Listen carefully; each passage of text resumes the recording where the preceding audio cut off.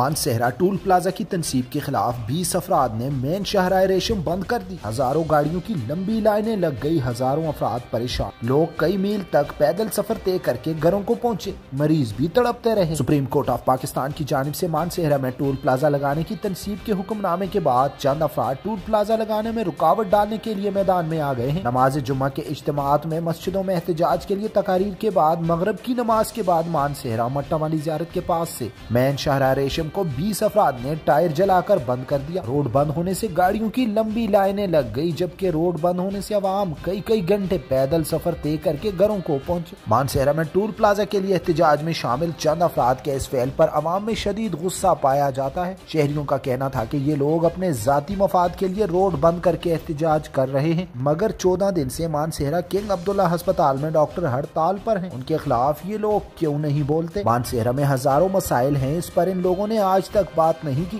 مگر tool plaza issue کو لے کر یہ اپنی سیاست کر رہے ہیں، جو کہ بہت غلط بات ہے۔ عوام نے انتظامیہ سے ان چند لوگوں کے خلاف کاروائی کا مطالبہ کیا، جبکہ سپریم کورٹ کے حکم پر فوری ٹول پلازا لگانے کی بھی اپیل کی ہے۔